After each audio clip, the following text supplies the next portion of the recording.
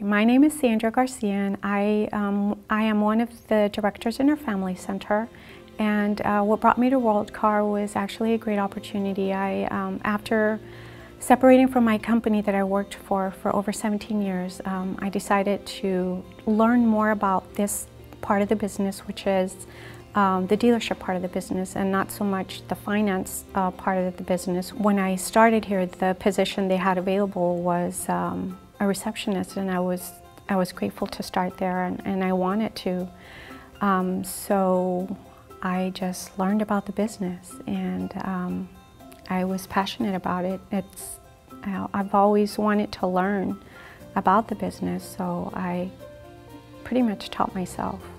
I just asked a lot of questions. I was um, also working as um, business development manager for our service department and um, I liked the part where uh, we would actually um, help our customers uh, with different issues that they had with their vehicles. But in that department, um, I had an opportunity to work um, hand in hand with one of the owners and um, I was asked um, to go to a restaurant as uh, representing World Car and, um, and so I did and it was a, an awesome experience for me. Um, during that time what I did is I would actually approach anyone with a military ID. Um, I was instructed that um, if anyone in that restaurant walked in that we were to pay for their, for their meal, we being World Car.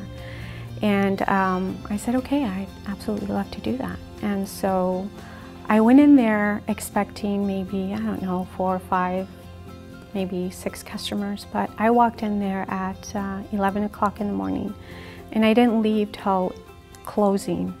And it was one customer after another. So the first customer I said to them, um, on behalf of World Car, I just want you to know that um, we're grateful for your service uh, for this country and what the sacrifices that you've made. And so on behalf of World Car, your meal is, is paid for, everything is paid for.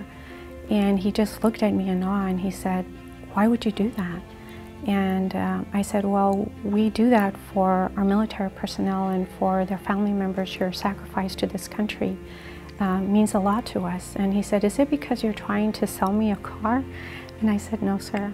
Um, and he asked me for a business card and I said, it's, today it's not about, about business, it's not about trying to gain a sale, it's simply I'm simply here to say thank you. Today it's about you and honoring you and what you've done for our country. I feel that that is what uh, World Car represents and we have to be able to do the same in terms of uh, our behavior, what we believe in.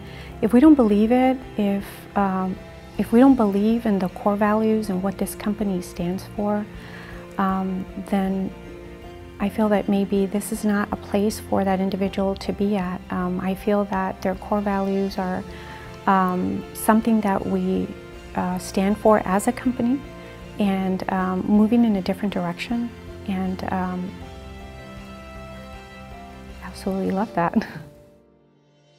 I am World Car's passion. I am World Car.